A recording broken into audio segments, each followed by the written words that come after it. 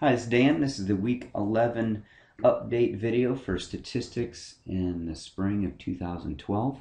Feeling much better this week. Um, sorry, I was kind of tired and uh, sick last Monday, but um, lots going on right now. This is probably one of the most important uh, couple weeks of the course right now. Um, we are doing more inference with proportions and means and I'm going to get right to it. Um, in chapters 7 through 9, which is what we're doing now, we're doing chapter 9 this week.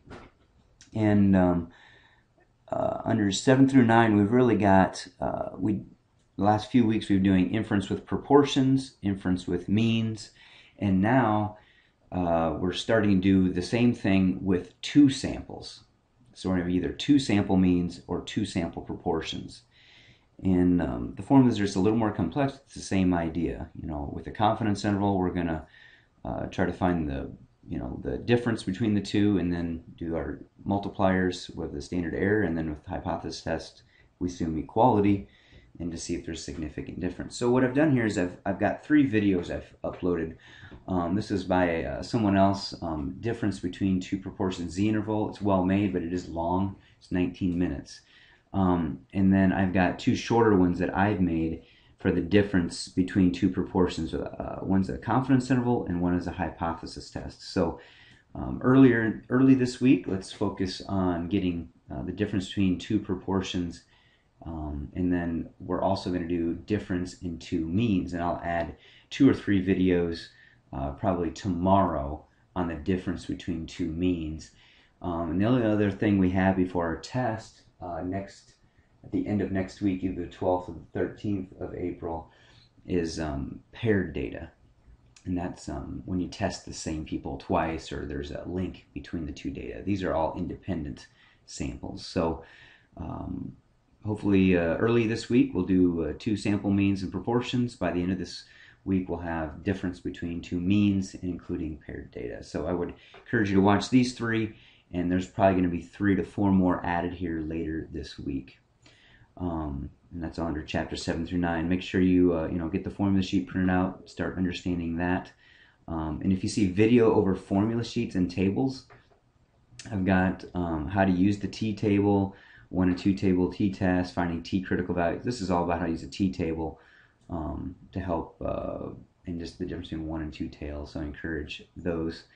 Um, so there's lots to see here, lots to do. Um, and your homework, sometimes I'm going to encourage you to actually follow my videos that I've posted or the ones I've found here for you instead of actually following the author's method. Sometimes the author makes it much more complicated as far as finding things like degrees of freedom and other things. So I'd encourage you to come out here to look for the, the uh, videos and, um, and also for the notes. If you go chapters 7 through 9 and you go to class notes, in uh, spring 2012. I've got tons of examples written up here from last week, and I'll be posting those again this week. Um, and then by the end of this week, I would encourage you to start looking ahead at the tests. So uh, if you go back to chapter 7 through 9 and you go to old tests, uh, under old tests, if you look at, um, you know, last fall or spring, I get the last three semesters of exams and videos going over those and everything. So I would encourage you to take a look at those starting the end of this week through next week. And next week really is just kind of review and testing. So obviously you don't have to do this yet, but just want to remind you to, you know, start looking at that. So I'll, I have also posted another discussion board question under course content here. If you go under discussion board questions, I've added the next one. We had the misleading statistics, so if you haven't done that, make sure you get that done.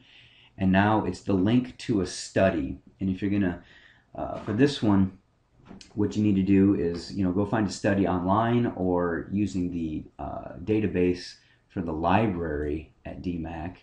Um, and then what you have to do is either provide a link or just an abstract of what the study was, what was the question being asked, was it what was an experiment or observational study, what's the null and alternative hypothesis here, or you know what did they think uh, was going on or should be going on, and then what was the test statistics or confidence interval uh, you know, how did, you know, what was the instrument that they used or the test statistic they measured, and then what was the result, uh, what would be the errors if they're wrong, and then just things you learn, reactions, uh, if you think there was a bias, and then other uh, questions that you have or that researchers had based on it. So This is um, a pretty high level uh, discussion board question, but I think this is very powerful if you're able to go out and find research and you know disseminate it, look through it, um, and and find these critical components and ask the good questions about it.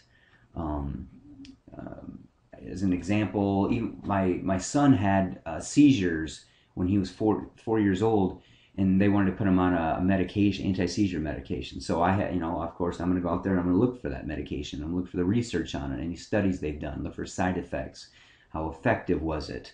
Um, just the ability to read through that was very important um, personally, and, and I've talked to many people. Uh, like I'm in education, so I have to read educational research all the time. I talk to engineers and marketing people and sales people and every every discipline pretty much has a research body that in so whatever your major is or whatever you're interested in, if it's childcare or um, just you know consumer products or anything, uh, I encourage you to go out and find some information on it, link that study, and answer these questions. So remember this week to do your uh, you can start working on your this other discussion board. Also be working on your My Math Lab homework for chapter nine and starting getting prepared for our test next week.